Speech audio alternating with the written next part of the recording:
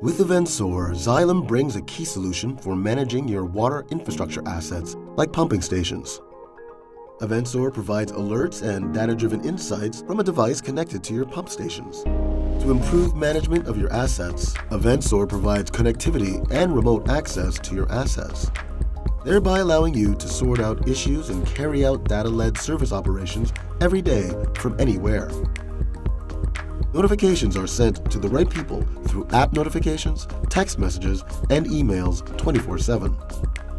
Operational data from your stations and devices are also easily accessible remotely. It allows you to check up on key parameters ensuring the proper operation of your assets. Just click on Live Data and all data is instantly available.